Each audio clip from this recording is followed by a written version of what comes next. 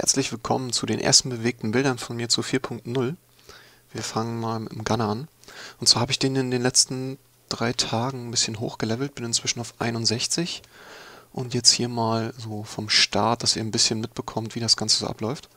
Der Gunner am Anfang hat ein Skill, wie jeder andere auch, bloß dass der mit dem hier einfach mal sämtliche Gegner one-hittet. Es ist relativ entspannt am Anfang, den Gunner hochzuleveln. Selbst wenn man überhaupt kein Gear hat, das wird man später auch noch sehen.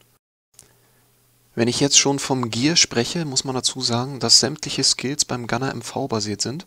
Deshalb ist das Ganze auch relativ gut zu kalkulieren, was man noch so erreichen kann.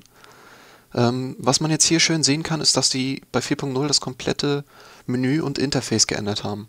Das Questlog rechts zu sehen haben sie geändert, die Karte ist anders und auch die ganze Menüführung wurde unterteilt.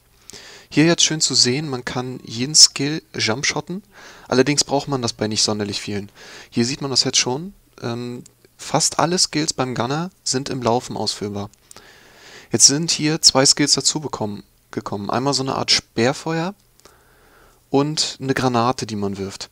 Die Granate senkt die Feuerresistenz und das, dieser Schuss hier ist feuerbasiert. Das heißt, er, die Granate erhöht also den Schaden von dem zweiten Skill. Ähm, den ersten Skill, den man bekommen hat, benutze ich jetzt im späteren Spiel kaum noch. Da der einfach relativ wenig Schaden doch macht und man ihn, wie gesagt, nur im Stehen ausführen kann. Er ist einer von, ich glaube, vier Skills, die man nur im Stehen machen kann mit den Pistolen. Ein bisschen verwundert hat mich das Ganze hier. Und zwar kann ich jetzt hier auch mit Level 10, was ich gerade bin, schon nach Ingison oder sonst wo hinporten. Ähm, Weiß ich nicht, was das soll. Eventuell ist es nur ein Bug. Auf jeden Fall wird es in Ingison allerdings einen Fast-Track-Server geben. Zumindest in Amerika ist es so. Auf dem man dann in Ruhe sch relativ schnell leveln kann. Und jetzt hier in Amerika auch Doppel-EP bekommt für die Mobs. So, da sind wir dann auch schon wieder ein paar Level weiter. Ähm, Im Allgemeinen habe ich das Ganze ein bisschen übersprungen. Hier dazu gekommen jetzt einiges an Skills. Ähm, man sieht das unten recht gut. Da sind drei Skills, die sich den Cooldown teilen. Das ist einmal dieses Sperrfeuer, also auch feuerbasierter Schuss. Dann eben zu sehen gewesen der Stun ganz am Anfang. Jetzt sieht man das Ganze auch nochmal relativ gut. Und dann der dritte, der saugt Mana ab. Ihr werdet mit dem Gunner im Allgemeinen keine Mana-Probleme haben. Absolut keine. Ich habe, glaube ich, in dem ganzen Spiel bisher nicht einen Mana-Pot benutzt. HP-Pots kann mal passieren, allerdings später auch nicht mehr so selten, äh, nicht mehr so häufig, zumindest im PvE nicht. So, was ist noch neu? Wir haben eine zweite Granate bekommen. Die Granate routet, allerdings nur für ein paar Sekunden. Das reicht gerade so, um ein bisschen wegzuhüpfen. Und speziell hier auf dem amerikanischen Server, bei dem relativ schlechten Ping, den ich doch habe, komme ich da meistens nicht wirklich weg, weil die Mobs in der Zeit schon wieder dran sind. Dann gibt es einen Ausweichskill. Das ist jetzt wieder der Stun gewesen gerade. Der hat äh, auch Folgeschüsse im Allgemeinen. Die, alle drei Skills, die dort oben sind, haben jeweils noch mindestens zwei Folgeketten, die man ähm, relativ häufig ausführen kann. Also man kann bei jedem der Schüsse fünf Schüsse insgesamt machen. Hier hat man jetzt gerade einen Rückzugsschlag gesehen, wie vom Jäger. Allerdings stunt er nicht, sondern macht ein bisschen Schaden und backt einen Moment durch sämtliche Wände und alles mögliche durch, was da steht. Keine Ahnung, ob das so gewollt ist, aber ich vermute es mal eher nicht. Zu meinem Gear muss ich an dieser Stelle sagen, dass ich nichts sonderlich Tolles habe. Ähm, ich habe nicht einen Mana-Stein gesockelt, ich habe keine besonderen Waffen, nichts, einfach nur irgendwelchen Crap durch die Quests. Also es ist Dafür dauert es eigentlich gar nicht mal so lang, die Mobs zu machen. Hier sieht man es auch ganz gut. Einfach im Laufen, egal ob nach hinten, zur Seite, was weiß ich, die ganzen Skills casten. Und mit dem Skill, auf den ich auf der 3 gelegt habe, kann ich die drei Schüsse einfach wieder aufladen. Ganz links ist Auto-Hit und zwei daneben ist dann Reload. Mit dem lade ich es einfach wieder auf. Hier auch nochmal der Mana-Saug-Skill. So, da wären wir auch schon wieder ein paar Level weiter. Hier kurz vorm Kalidon-Gebiet, Level 47. Jetzt ist wirklich einiges dazugekommen.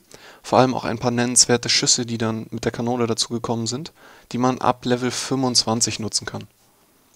Die möchte ich dann natürlich auch gleich einmal vorstellen. Ich gehe jetzt hier schon mal im Schnelldurchlauf über so ein paar Skills drüber. Wer Zeit hat oder gerne auf Stopp drücken möchte, kann sich die gerne durchlesen. Ansonsten möchte ich natürlich nicht einfach alles vorwegnehmen. So, es gibt diverse Buffs. Hier wie gesagt, einmal noch der Stun und dazu ist noch eine letzte Kette gekommen. Der saugt 20% des Schadens als Leben ab. Leider, leider muss ich sagen, habe ich noch nicht wirklich viel Zeit dazu gehabt, AP zu sammeln. Deswegen habe ich auch nur zwei der ähm, AP-Stigmas zum Ausprobieren. Dort war gerade einer zu sehen, der 5000er Crit. Das ist eines der AP-Stigmas. Der andere befindet sich direkt rechts daneben. Sieht man auch gleich. Hier einmal ein Kanonskill zum Aufladen natürlich.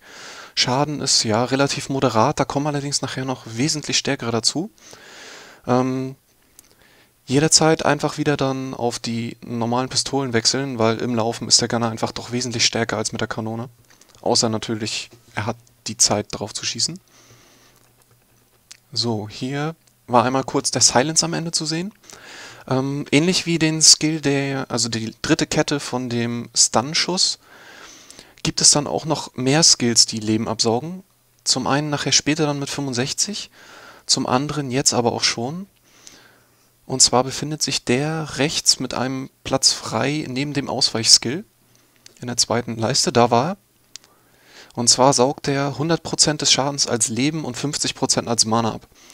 Wie gesagt, überhaupt im Allgemeinen, so beim Leveln, Pots, no need.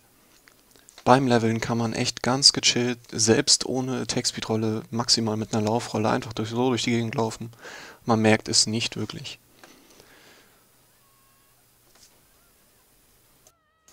was die ganzen Skills nachher im Einzelnen machen, was es da alles gibt, was für Stun-Möglichkeiten, Cover und was weiß ich, möchte ich gerne, wenn ich fertig bin mit meinem Gunner, also ein bisschen Gear habe und Erfahrung, ähm, in einem extra Video einmal vorstellen. Dafür ist jetzt ein bisschen wenig Zeit. Es soll mehr so zum ja, Lustmachen dienen, das Ganze gerade.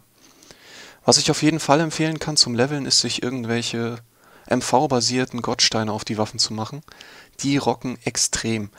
Ähm, Gunner ist ähnlich wie ein Assa mit zwei Waffen unterwegs. Das heißt, hat auch eine extrem hohe Prockrate. Und bei mir prockt er wirklich andauernd. Jetzt hier in dem Video lustigerweise gerade nicht, aber ich habe echt Szenen gehabt, auch in der Arena.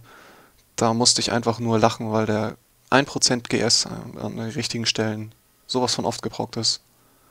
Das ist echt sehr schön. Mein Gear an dieser Stelle hat sich dann auch schon ein bisschen verbessert.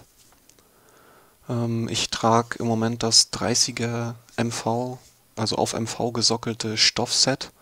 Es gibt auch mit 4.0 dann ein extra Lederset mit dem Gunner. Ähm, das hat dann vom Prinzip her die gleichen Set-Effekte und MV-Werte wie das Stoffset, hat halt nur mehr Def und so weiter. Und statt MP glaube ich HP. Das hier ist jetzt mal das zweite Stigma, das man hier gerade sieht. Das ist wie mit Maschinengewehr. Da kann man sich allerdings leider auch nicht bewegen, genauso wie bei dem anderen Stigma-Schuss. Diesen, der vorhin den 5K-Crit gemacht hat. MV-technisch bin ich jetzt bei ungefähr 2100 gebufft. Das sollte dann später noch ein Tick mehr werden. Was ich allerdings festgestellt habe, ist, dass es nicht wirklich lohnt im Moment, die Auto-Attacks dazwischen zu weaven.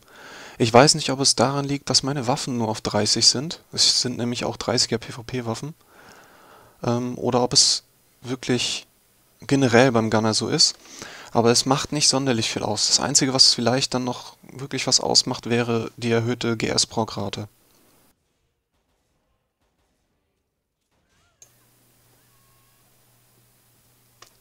So, hier dann auch nochmal der Stigma-Schuss zu sehen, den ich vorhin erwähnt hatte. Wie gesagt, bei dem kann man sich auch nicht bewegen und auch schon, wie gesagt, durch diesen Delay, den ich habe auf dem Server, bringt mir dieser kurze Root eher wenig.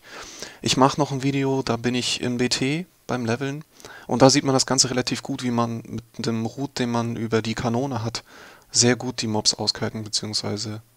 einfach mal abstellen kann. Zum CC vielleicht noch. Der Gunner hat ähm, einen Sleep, der hält 20 Sekunden, ist allerdings ein aufladbarer Skill mit der Kanone. Werde ich nachher auch noch zeigen.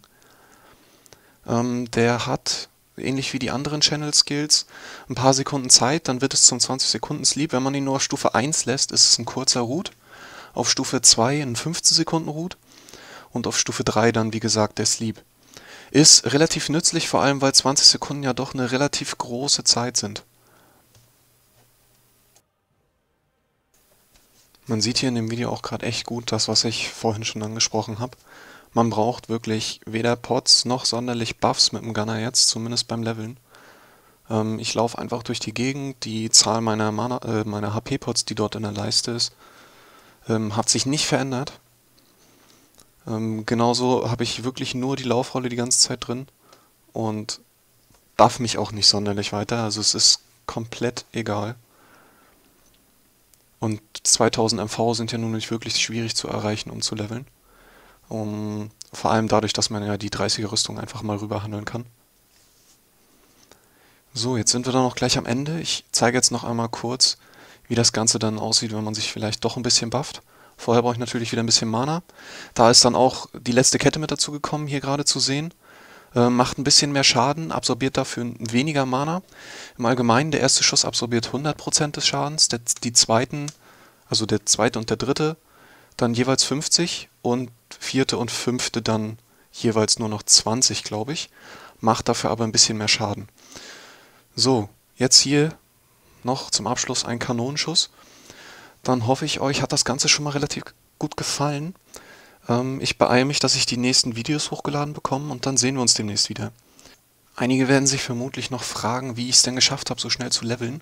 Es gibt jetzt mit 4.0 ganz viele Aufstiegsquests oder Wachstumsquests, die extrem viel EP geben, die man einfach nebenbei machen kann.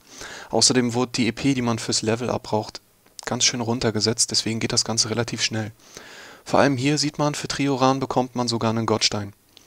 So, dann war es das an dieser Stelle für mich. Ich wünsche euch viel Spaß beim Warten und wir sehen uns demnächst.